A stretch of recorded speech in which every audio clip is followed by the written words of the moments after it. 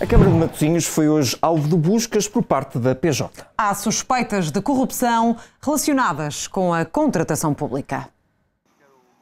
A Câmara Municipal de Matosinhos foi esta quinta-feira alvo de buscas por parte da PJ.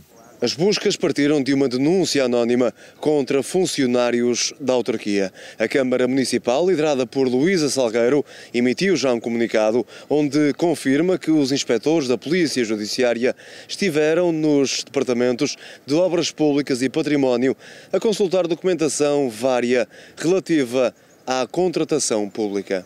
No mesmo texto, a autarquia diz encarar com naturalidade este tipo de procedimentos por parte das entidades judiciais, estando a colaborar com os inspectores da Polícia Judiciária em todas as suas solicitações. Segundo apuramos, a denúncia em causa não envolve o executivo liderado por Luísa Salgueiro, mas sim a atuação de funcionários municipais.